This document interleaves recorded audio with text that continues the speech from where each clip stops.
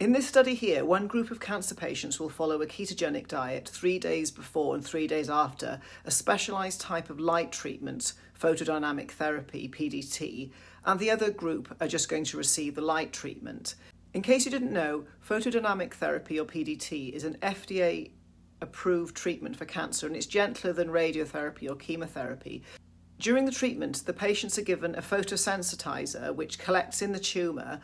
Afterwards, the tumour is exposed to light and this activates the drug, killing the cancer cells and destroying the blood vessels that help keep the tumour alive. The researchers hope by cutting off the carbohydrate and therefore sugar supply to the tumour, the ketogenic diet will weaken the tumour before the PDT delivers the laser, the second blow that finally destroys them altogether. There's already some evidence that a ketogenic diet done properly can improve the effectiveness of chemotherapy or radiotherapy. It was these studies that prompted the research team at Roswell Park to use a ketogenic diet in conjunction with PDT. So I hope you found this helpful and thanks for watching.